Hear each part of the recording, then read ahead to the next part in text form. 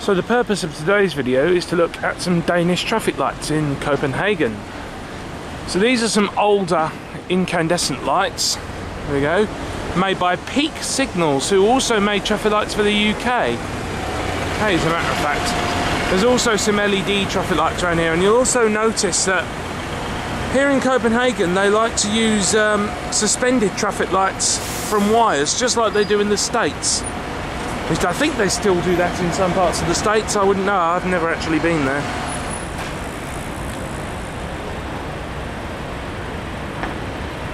You see there, on the right there, you can see that Swarco unit with the white lines. I'm not 100% sure what those are for. I think they might be a priority light for buses. But like I say, I'm not actually sure and next to it is another incandescent Peek traffic light.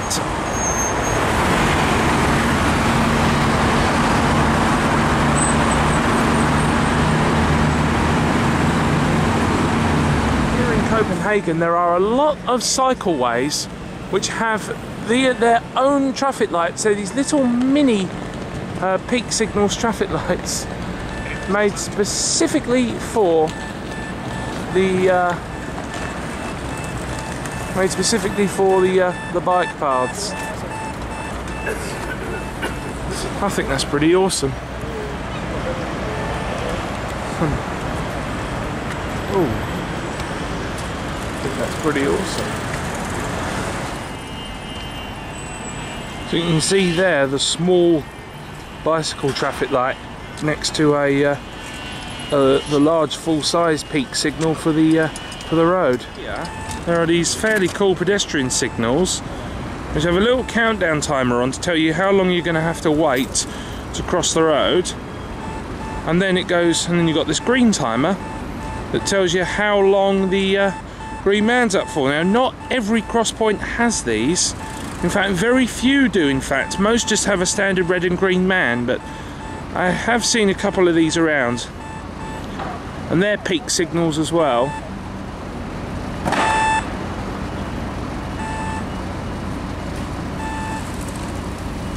And the other thing is no crossings here have buttons. They just go when the time's up. There's no crossing buttons. This is just a, uh, a sound.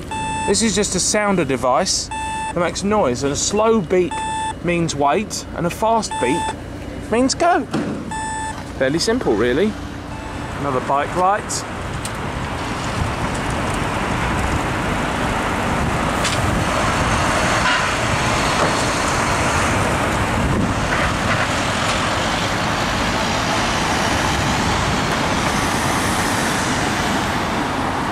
The main traffic lights are red as well, so I can cross. Little bike light's just gone green for that way. Oh, and there's the clock tower for a quarter past eight. Yep, good, we can keep going. And up there, with both traffic lights and bike light by Swarco.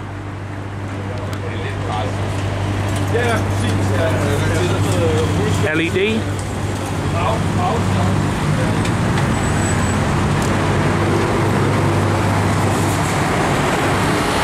Yeah, so here's just a Swarco pedestrian light. And as you can see, this one's just a straight red and green man, and that's what a lot of the crossings have. Over there are some more Swarco LED traffic lights. Those are the full size ones for the road. The other thing you'll notice is a lot of traffic lights around here don't always have the uh, the hoods, the sunshade hoods, which is definitely not a good thing because they really should have. Oh look, there's one uh, over there that's got directional arrows on, which is uh, pretty cool, I think.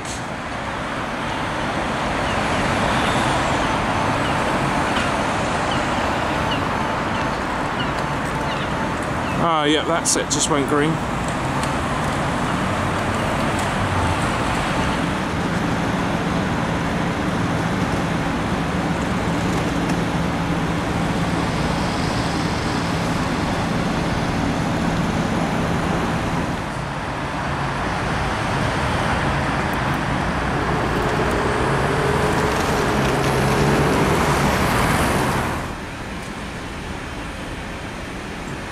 See there's the bus priority signal, giving the bus permission to go before all of the traffic is let through just a moment later.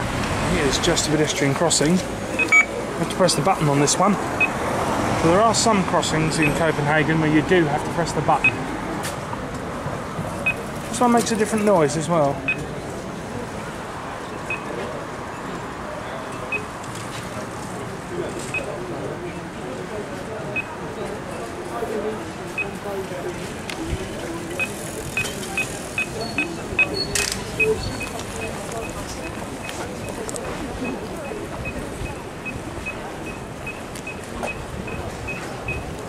Kind of thing to show you is these flashing orange lights. These you find suspended above uh, pedestrian crossings and they basically do the same job as the British Belisha beacon and you get those um, in other places around the world as well. But instead of a Belisha beacon you just get these two alternating flashing orange lights hanging above the crossing.